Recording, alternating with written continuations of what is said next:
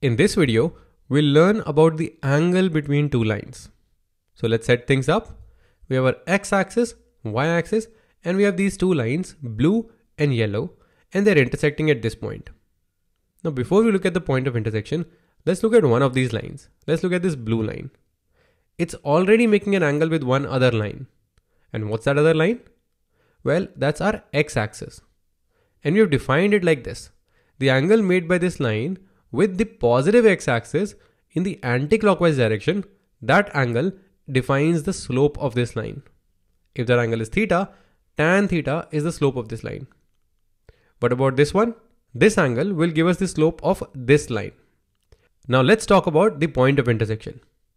This white angle is the angle between these two lines. Is this angle related to these two blue and yellow angles? Think about it. Well, yes, it is. If you look at it closely, this angle is the difference between these two angles. This is your yellow angle minus this is your blue angle. So yellow minus blue will give you white.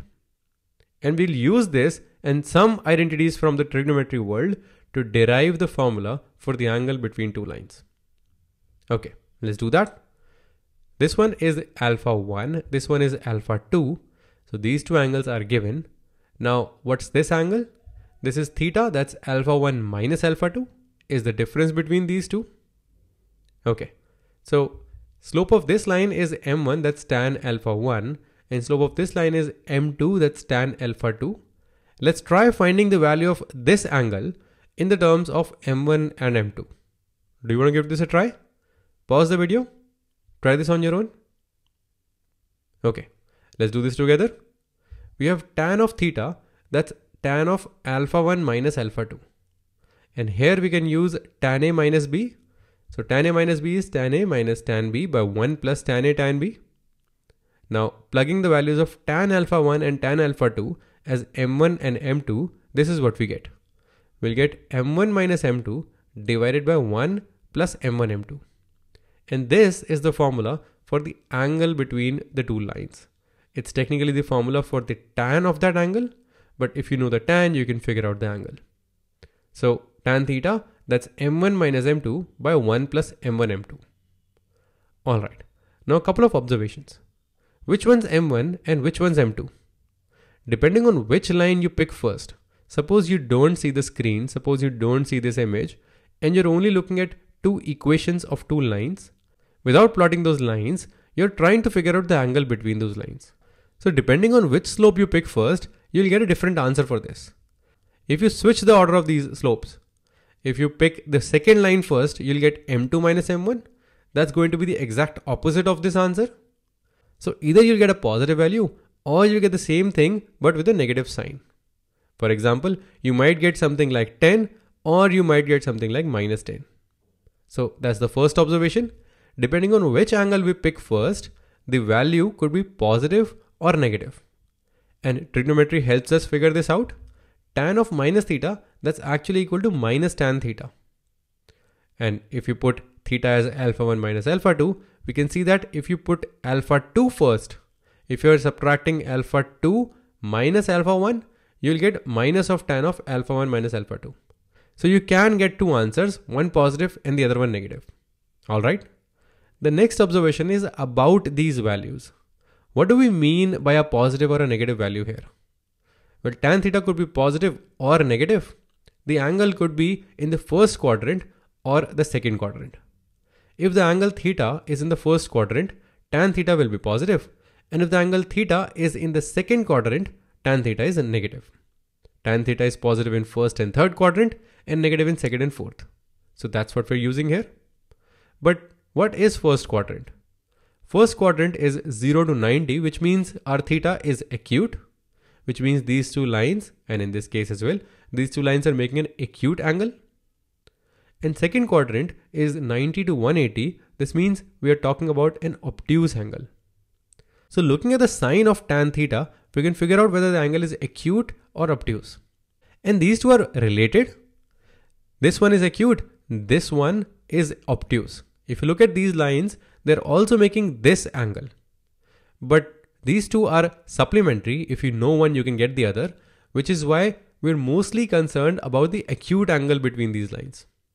So we can refine our formula. We can say that if we only want the acute angle between these lines, if you're only concerned about this one, we can say that we're only concerned about the positive value.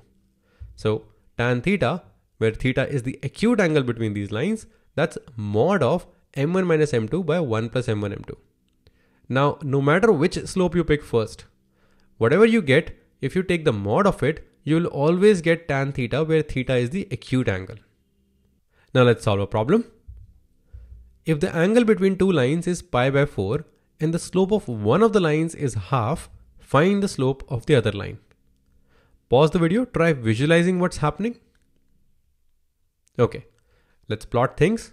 We have our x-axis, y-axis, and we draw a line which has a slope half. So this blue line looks like a line that has slope half. Now notice that the question says the angle between lines is pi by 4, which is 45 degrees. Now the line could go in this direction, this angle is 45, or it could go in this direction, this angle is also 45. This yellow line is making an angle of 45 with blue, and this green is also making the angle 45 with blue. Both of them are making 45 degrees, which means we'll get not one, but two such slopes. All right, we'll find both of them. But before that, Here's a quick fun observation. In this specific case where the angle is 45, both of them add up to 90, which means whatever we get here, we're talking about perpendicular lines. The two lines, the two slopes that we're after, both of them are of lines which are perpendicular to each other. Okay, let's get started. Let's assume that the slope that we're trying to figure out is m. So this other line could have two different slopes. It could be higher than half or it could be lower than half. So this means this variable m will give us two values. So let's plug our value of m in this formula. Tan theta, where theta is the acute angle between these two, is mod of m1 minus m2 by 1 plus m1 m2. Okay, here we know one of these slopes, that's half, and we need to figure out the other slope, that's m. So tan theta, this theta is pi by 4. Let's say the m1 is m minus half by 1 plus m times half, so that's m by 2.